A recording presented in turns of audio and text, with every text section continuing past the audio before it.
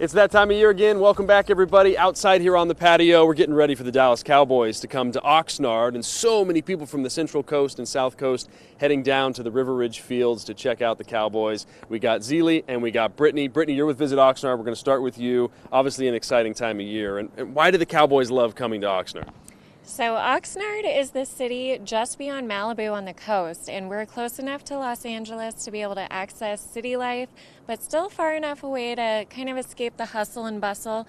And you know, LA has those big name NFL teams. You've got the Rams, you've got the Chargers, but the Cowboys are America's team, and they're going to come to California and live up to that name. Yeah, it's amazing how many people come out and enjoy the Cowboys, uh, whether you're a Cowboys fan or not. You just want to see those colors and that star on the helmet.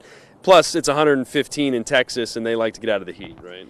Yeah, you know, the boys in blue love it here in California. We've got beautiful weather. I mean, right now it's kind of that morning glow of getting the fog out, but um, it's going to burn off in the afternoon and we'll have beautiful weather. And tell us about the camp itself, what people are going to be enjoying. It starts uh, July 27th through August 10th, and it's just a lot of fun for the family to come out. Yes, so camp is free to attend. It's open to the general public. If you are a Dallas Cowboys United fan club member, you get special perks like en- uh, early entry, fence line access, and discounts to promo merch that you can only get at training camp.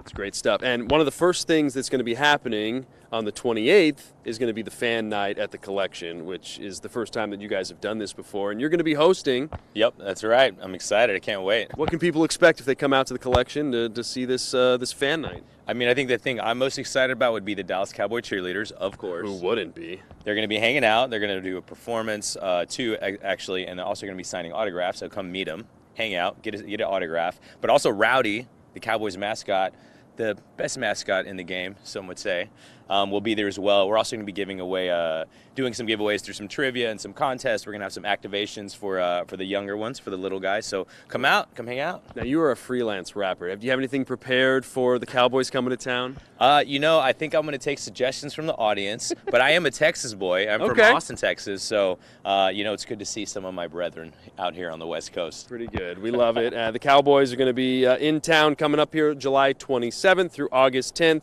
River Ridge. Anything else you'd like people to know before they come out?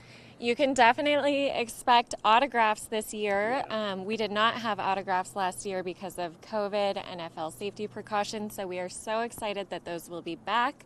Make sure you check our website, visitoxnard.com slash cowboys. All right, I love it, and we're going to put our uh, photographer Joyce to the test. I think she has a football. Is that right?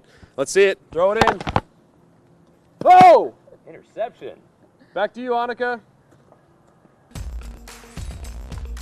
Down the hill.